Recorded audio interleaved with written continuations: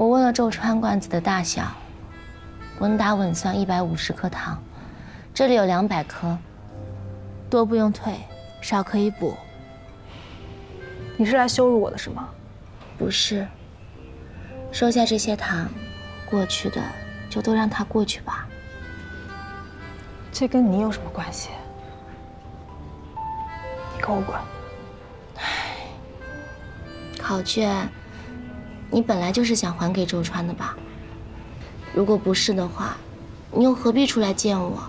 我问了周川你们在高中的事儿，你好好想想。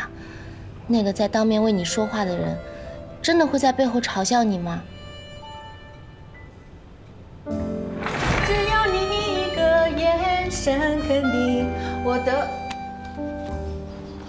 同学，你们班卷子我给你放这儿了。歌唱的不错，可以直接女团出道了。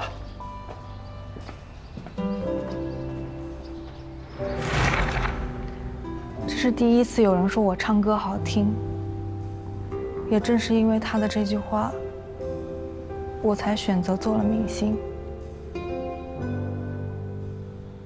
但正因为如此，才证明他不是什么好人，在我面前安慰我、鼓励我，却在其他人面前一起嘲笑我。啊！我拜托你，偷听人家说话能不能偷听完啊？现在的胖子啊，都这么有勇气了吗？也不看看自己什么德行。配不配得上，是吧，周川？是吗？那你的意思是我不应该跟人家接触了？对呀，你说你一校园男神，跟这种家伙接触干嘛？这不掉价吗？就是。那你觉得你配跟我说话吗？啊？那种人是哪种人呢？我和谁说话需要你同意啊？不。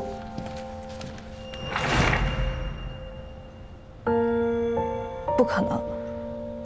你是在骗我是不是？你是为了拿到卷子才骗我的是不是？我没那么闲。在你眼里的周川是什么样的？他善良、温柔，又有才华。我眼中的他是完美的，可我眼中的他可不是这样的。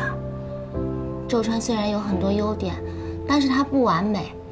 甚至有的时候像个小孩子一样，很幼稚，脾气很差，损起人来的时候让人气到跺脚。但他有时候也会很脆弱，需要让人保护，让人安慰。这是我喜欢的他。你眼中的，不过是一个你幻想中不存在的人罢了。不是的，如果这次代笔的事情没能过去。周川日后被万人唾骂，再也翻不了身，你能接受一个落败的他吗？他不会败的，没有人是不会败的。别再活在过去了，他只不过是一个你幻想中的人。别因为一个虚假的幻想，耽误自己的一生。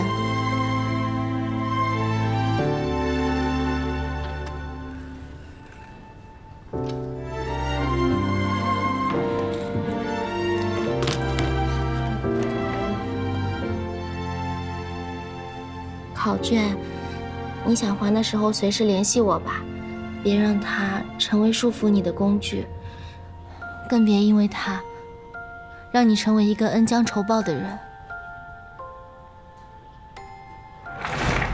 你都告诉他了？嗯，那不然呢？总不能让大家因为这件事情继续误会你，肯定要解释清楚啊。不过好在宋茜她能够想明白，不然你今天真的就要翻车了。有你真好。嗯，知道就好。以后不许再给我招惹这些桃花了啊！只有你才是主动招惹的桃花吧？这还差不多。